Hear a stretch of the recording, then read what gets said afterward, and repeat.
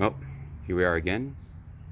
I know it's been a long time, but uh, between finding a new place and starting a new job at a new location, then of course the pandemic, and happened to be working in the healthcare field, well, you can imagine it has been some crazy times, but we are back. As you can see, this is the factory bumper uh, unfortunately, my D3 bumper got hit by a piece of road debris and is no more. So back to the factory bumper, but can't leave well enough alone.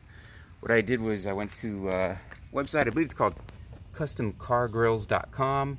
They sell prefab, pre-cut grill inserts, so you basically just cut out the uh, plastic uh, fog grill section that's in here and just glue on, whichever, epoxy, whatever you want to call it. Obviously don't use Elmer's glue uh, to attach it to the plastic.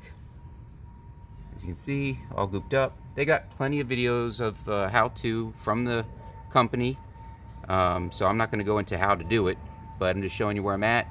Basically, I then threw in a couple 6-inch LED strips, tap that to the uh, side marker light, and uh, that's it. The only thing I might get around to doing is uh, maybe some more customization of my headlights but otherwise, this car is, I'm not messing with it anymore. After losing the whole front end in that uh, little bit of an accident and all the time and energy and money, um, I'm not doing it. So a little bit of a customization here. The only other thing I'm going to do is uh, probably do the uh, or the uh, emblem. Right now, it's just the uh, I painted it all black, but I'm I've already uh, taken about another one of these online Took out the uh, colored inserts. I'm going to paint the chrome part black and then have the colored inserts as opposed to just all black.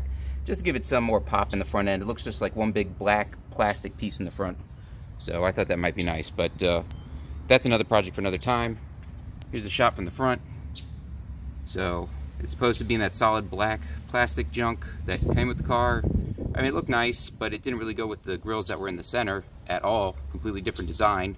These were like hexagons and these are squares. So I don't know why they did that as opposed to just matching it up, but it's done now. So next is to uh, put the bumper back on, see how it looks, and then of course uh, turn on those lights and see how they look.